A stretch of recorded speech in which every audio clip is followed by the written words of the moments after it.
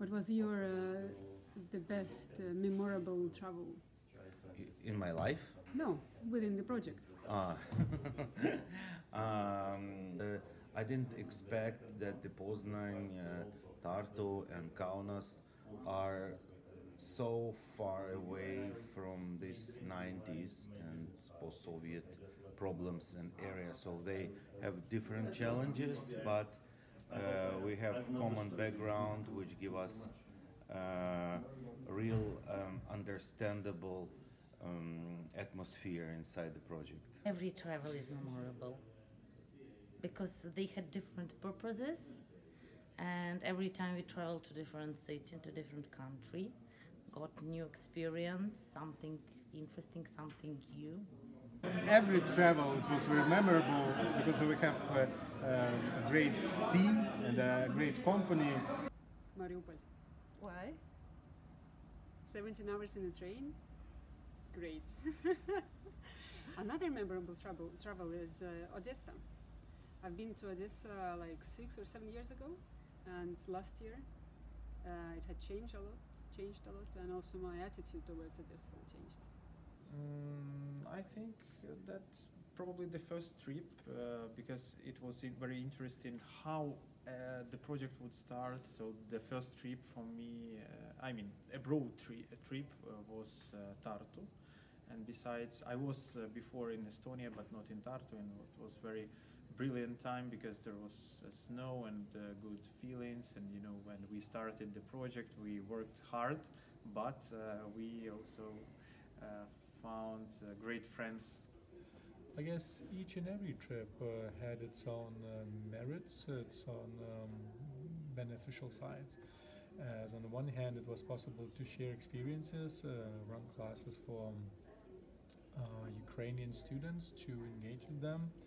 Uh, secondly, it was also good to work uh, with the colleagues to contribute to the book on the Baltic Black Sea regionalisms.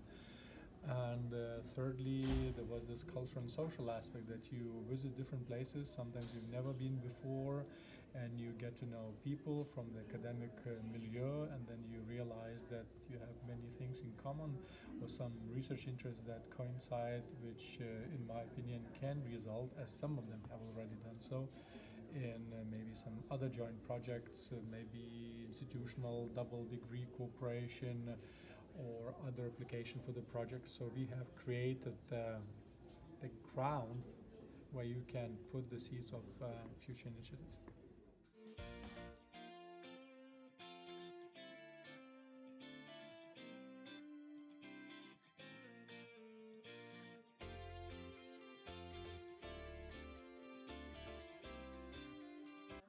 Fundamental question. Our project BBSR, is it a cat or dog? Hmm Uh, it's interesting. Uh, can be the both. It's cat, a domestic cat, not from the street. Absolutely domestic.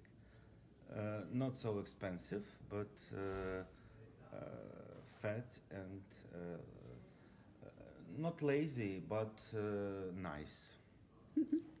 and live in the kitchen. Yeah. Our project uh, is a what do you call centipede? Um, this is a worm which has many, many, many legs. As uh, it has a body that connects us, and we are all from different eight universities. So I don't think that the allegory of um, cat or dog is um, apt here. So we are warm. Yes, we are a worm that, and you know, worms in the ecosystem, they are also very beautiful, maybe, and very beneficial. Maybe not everybody considers them beautiful, maybe some of them find them repulsive, but they are very beneficial.